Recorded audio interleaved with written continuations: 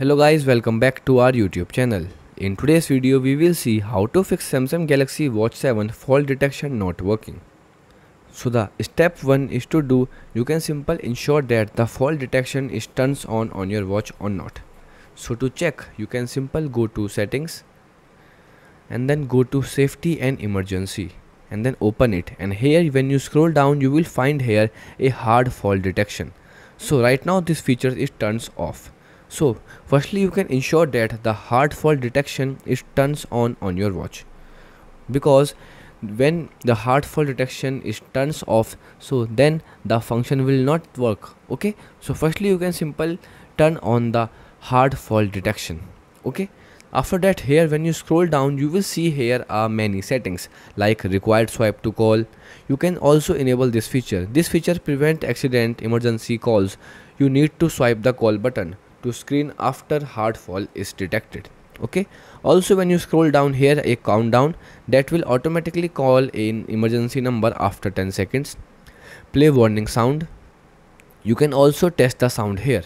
And then play sound on both watch and phone. You can ensure that this will turns on.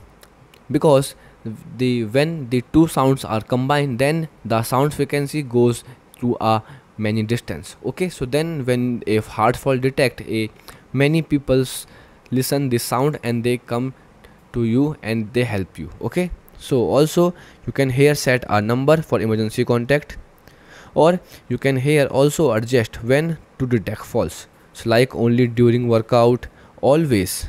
Okay so you can simple set it always because you can because anytime the accident happens. Okay so you can simple ensure these settings must.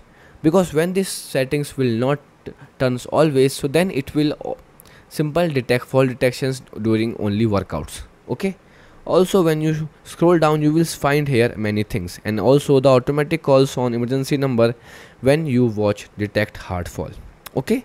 So when and after that you will see your issue will resolve so if your hard fall is turns on and still you are facing a issue. So in this case you can simple do a restart. A simple restart can resolve many issues.